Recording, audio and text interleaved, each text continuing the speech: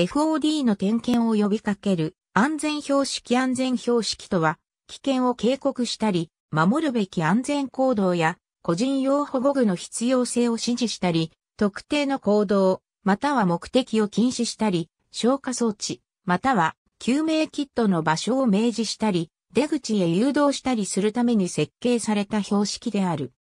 安全標識は工業施設でよく目にするのに加えて、公共施設やコミュニティ、送電塔や変電所、崖、ビーチ、水域、芝刈り機などの電動機械、建設や解体のために閉鎖された現場などでも見られる。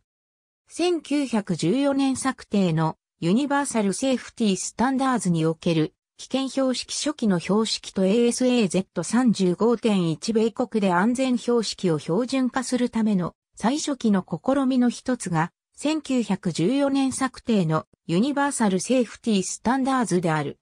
看板は基本的にかなりシンプルで赤字に白い文字でデンジャーと書かれた彩色ボードで構成されていた。その後矢印が追加され、危険性があまり明確でない場合に、危険の方向に注意を引くようにした。出口標識と救急キットは白い文字のついた緑色のボードで構成されていた。標識の目的は手短に情報を知らせることにあった。これに続く次の主要な標準規格は1941年策定の ASAZ35.1 で、その後1967年と1968年に改定された。米国労働安全衛生局による安全標識の使用に関する規則、OSHA 1910.145の策定において、労働安全衛生局は、その要件を ASAZ35.1 から1968に従って暗出した。アンシー Z535-1980 年代、米国国家規格協会は Z53 及び Z35 標準規格を更新するための委員会を設立した。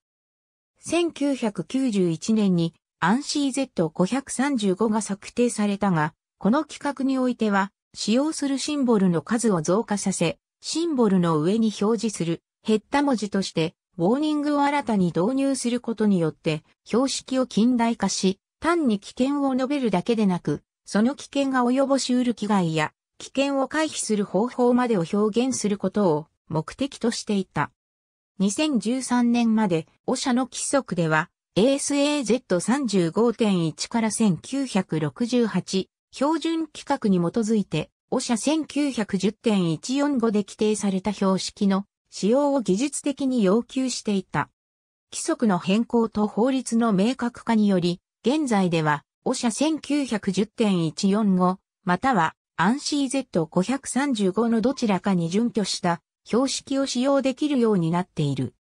2000年以前に使用されていたヨーロッパ各国の電気、電圧の安全標識ドイツ、フランス、イギリスグローバル化によって国際標準化機構の標準規格が各国で採用される前は、ほとんどの国で独自の安全標識が策定されていた。昔は文字のみの標識が一般的であったが、1977年7月25日に欧州理事会指令77、576 EEC が採択され、欧州連合加盟国に対して、あらゆる場所に設置された安全標識がアネックス I に規定された原則に準拠することを保証するため、アネックス I において義務付けられた色分けとシンボルの表示が要求された。1992年77、576 EEC に代わって欧州理事会指令92、58 EEC が策定された。新しい指令には安全標識を効果的に利用する方法に関して改善された情報が含まれていた。EEC の指令した92、58、EEC 標準は単なる安全標識ではなく、消火設備のマーク、音による信号、車両が通行する際の声による信号と手信号を標準化している。2013年、欧州連合はそれまでの標識に代わって ISO7010 を採用することとなった。ISO7010 を欧州規格 ISO7010 として採用することによって EU 諸国間で標識を標準化することができた。これに先立ち、もしシンボルが標準化されたとしても、同じ意味を伝え、その違いや改造によって意味がわかりにくくならない場合に限り、標識の外観を変えることができるようになった。オーストラリアの安全標識は、1952年策定の CZ4 から1952職業環境の安全標識から始まる。1972年に AS1319 から1972として改定、再指定された。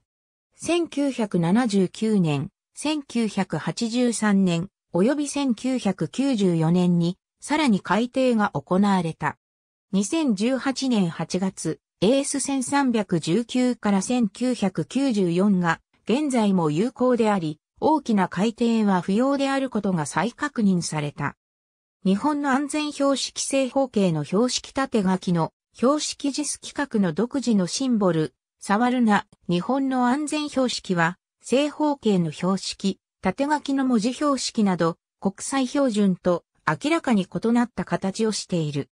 日本の安全標識規格は日本作業規格によって規定されており、JIS Z9101 JIS-Z9103 及び JIS-Z9104 規格がある。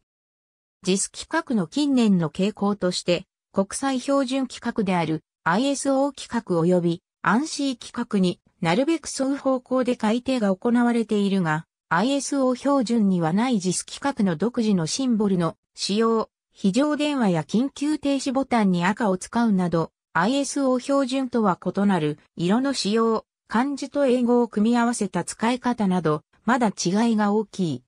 一般的な安全標識の規格に加えて、日本は2016年に JIS-Z9098 を制定した。これは自然災害の影響を受けやすい地域、避難ルート、災害からの安全な避難所を人々に知らせるための規格である。この規格の特徴は地図や図表を使用して、その地域の危険、避難所及び避難経路に関するより詳細な情報を提供している点である。中国の安全標識は中華人民共和国国家標準規格のギガバイト2893から2008及び2894から2008に基づいて中国の標準化管理局によって規制されており、すべての安全標識はこの規格に準拠することが法的に要求されている。そのデザインは ISO3864 に類似しており、古い ISO7010、2003のシンボルを使用する一方で、より広範囲の禁止と危険をカバーするために、いくつかの記号を追加している。危険ヘッダ、危険シンボル、注意書きで構成された安全標識現代の安全標識のデザインは、シンボルと注意書きによって構成されており、また、ヘッダと呼ばれる注意書きが上部に付属しているものもある。北米やオーストラリアのいくつかの州における安全標識は危険によって危害を受けるリスクに注意を喚起するため独特のヘッダを利用している。ヘッダには使用のためのガイドラインがあり、危険を指示するための特定の条件に合致しなければ標識に使用することができない。2007年の ANSI-Z353.4 の改定では国際的な状況で使用される標識、または海外に輸出される機器において、危険、警告、注意のヘッダーにある安全警告記号 ISO7010 の W001 一般的な警告記号に置き換えることを許可し、国際標準である ISO3864 から1に準拠できるようにした。他にもヘッダの種類が存在し、Z53.1 から1968では、放射線シンボルのために、マゼンタと黄色のラディエーションヘッダを規定している。他にも Z53.1 標準でカバーされていない様々な状況における様々なヘッダが標識製造業者によって作成されており、例えばセキュリティ通知、バイオハザード、立ち入り禁止区域などのヘッダがある。ISO セーフティシンボル。左上から時計回りに、禁止、警告、安全、必須言語と識字の壁を克服する手段として、危険、守るべき安全行動、または安全装備、禁止される不安全行動、道具、安全などを示すためのシンボルが、1990年代に安全標識に導入された。グローバリゼーションと国際貿易の増加がこの動きを後押しし、それは結果として安全標識を複数の言語で作成するための必要経費を削減することにもつながった。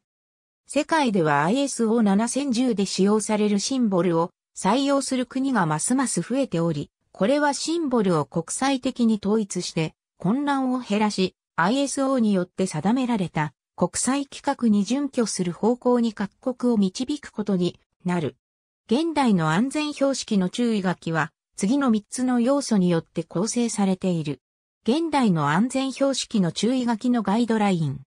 1968年の ASAZ35.1 から1968の段階で安全標識のデザイナーは安全標識の最良のアプローチはシンプルで最小限の言葉で危険を伝えることであると規定した。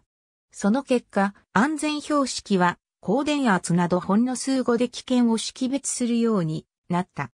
しかしこの方法は警告を無視した人にどのような危害が起こりうるかがよくわからず、危険をどうやって回避するかについての案内を提供できないという欠点があった。床が濡れています。メンテナンス中、清掃中など一時的に安全標識が必要になる場合に持ち運び可能なポータブルサイネージが利用されている。これらは地面に自立することができ、作業が完了すると比較的簡単に撤去できるように設計されている。1914年策定のユニバーサルセーフティースタンダーズにおいては、路面が舗装済みであろうと未舗装であろうとどちらでも、デンジャーのポータブルサイネージを設置できるように規定されている。ポータブルサイネージは、カラーコーンや A 型バリケードのような単純な形のものから、可動式の腕に安全標識を持って振る、安全太郎に至るまで、いろいろな形のものがある。床が濡れていますのサイネージは、現代では商業施設、公共施設でよく見かけるものであるが、これは客が滑って怪我をした際、客に危険を警告していなかったことによる店側の法的責任を回避するために存在する。床が濡れていますのサイネージは黄色いものが多い。技術の進歩により音で警告を発するポータブルサイネージもある。雑巾掛け機能を持つロボット掃除機には作業を完了した時に音が鳴って床がまみれていることを知らせてくれる機能がある。情報型問題。いろいろ注意が書いてあるが、情報が多すぎて、結局どうすればいいのかわからなくなる。安全標識は1980年代後半より趣旨をはっきりさせ、誤解の余地をなくすことに重点が置かれてきた。研究者たちは、標識の背景に対して、標識の枠線、色のコントラスト、文字やシンボルなどをいろいろと試行錯誤して、それぞれのインパクトの強さを調査してきた。1999年、とあるデザイナーのグループが、一人の利水上バイクの警告ラベルの標準規格の策定を任された時のことを例に挙げる。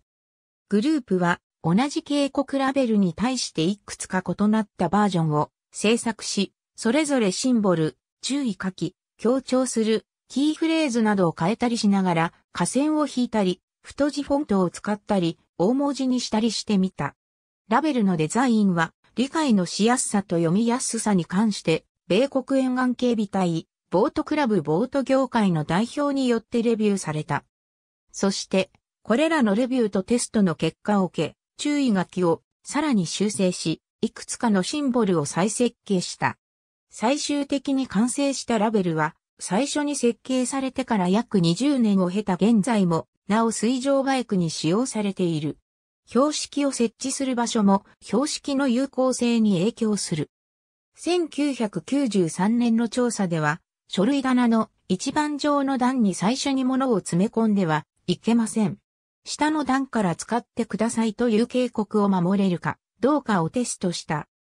警告は配送用の段ボールだけに貼り付けていた場合はほとんど効果を発揮しなかったが、書類棚の一番上の段が開くのを物理的に妨害する段ボールのカバーとして警告を設置した場合は最も効果を発揮し、段ボールのカバーは取り外し可能であったにもかかわらず、一番上の引き出しにファイルが詰め込まれるのをあからさまに妨害した。情報型などの様々な要因によって、標識の有効性が低下する場合がある。段落のない何行にもわたる長文で構成される標識や不必要なまでに細かい規則が書かれた標識など、情報型の標識を目の前にすると、見た人の脳が適切に処理できず、情報のオーバーロードを起こしてしまう。これを防ぐには、重要なキーワードのみを残して、警告文を簡略化することが有効である。補足的なマニュアルを配布することや、避難訓練などのトレーニングを行うことも有効である。警告方もこれに関連する問題で、余計なお世話の標識や見ればわかるようなことを警告する標識など、大量の安全標識を同時に配置すると、これを見た人に標識が見過ごされてしまう。また、コンディションが悪い、メンテナンスが悪い、設置した位置が高すぎる、または低すぎるなど、警告を読むために無駄に労力を必要とする場合も、標識の効果が低下する場合がある。ありがとうございます。